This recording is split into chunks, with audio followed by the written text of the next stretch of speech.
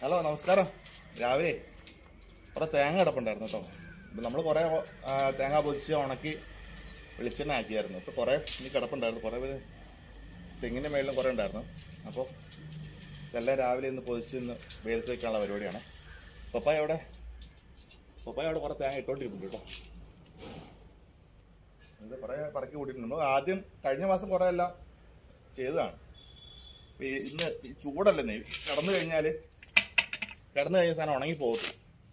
പൊള്ള നേരത്തെ പൊതിച്ച് ആട്ടി വെക്കുവാണെങ്കിൽ നല്ല കാര്യമല്ലേ? ഇപ്പം രാവിലെ ഇനി പണിയാണ് കേട്ടോ. ഇനി ഇതെല്ലാം പൊതിച്ചെടുക്കണം. അത് കഴിഞ്ഞ് സാധനം വെട്ടി വെയിലത്ത് വെക്കണം. അതുകൊണ്ട് ഇന്നത്തെ പരിപാടി ചെയ്താണ്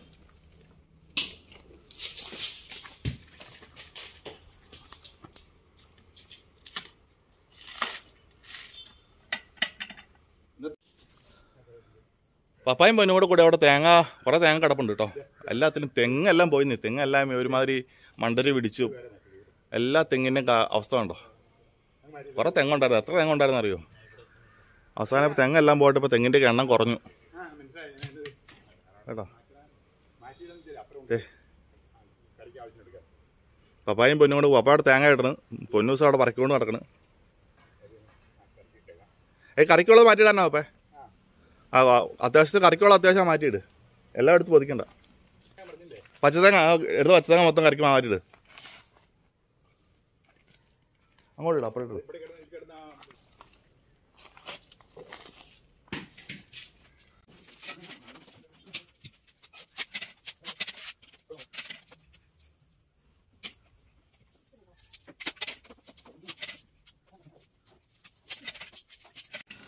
അടുത്ത പൊന്നൂസിന്റെ തകർപ്പും പരിപാടിയാണ് കേട്ടോ.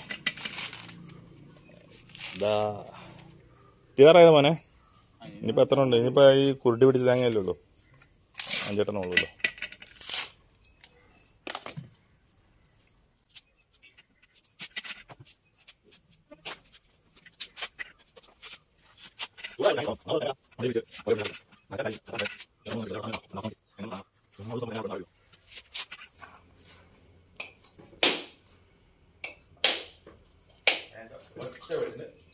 ഒറ്റ വെട്ടിന് ഒറ്റ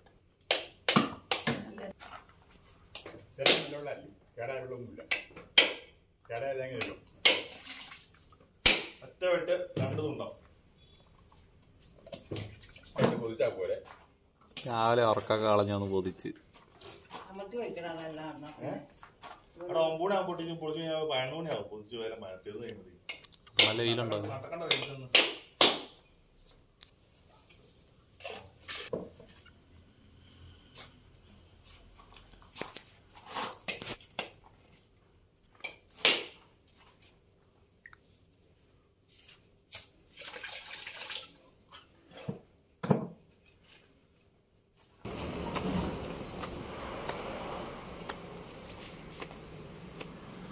നമ്മൾ തേങ്ങ ഫസ്റ്റ് ട്രിപ്പ് വെട്ടിയിട്ട് വെക്കുമ്പോഴേ കമത്തി വെക്കണം.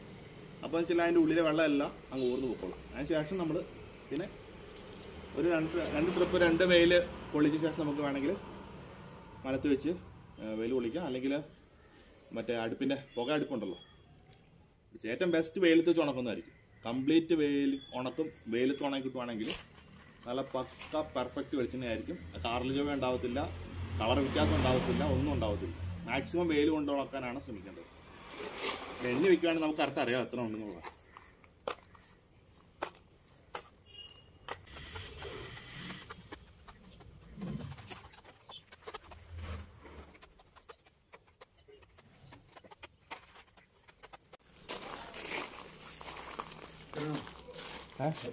നൂറ്റി അറുപത്തിനാലെണ്ണം അപ്പം അതിന്റെ പകുതി.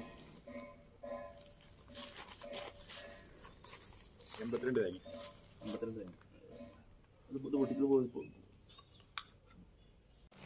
ആ ബേസ് ചേട്ടാ ഒന്നേ കഴുകിട്ട് വയ്ക്കണേ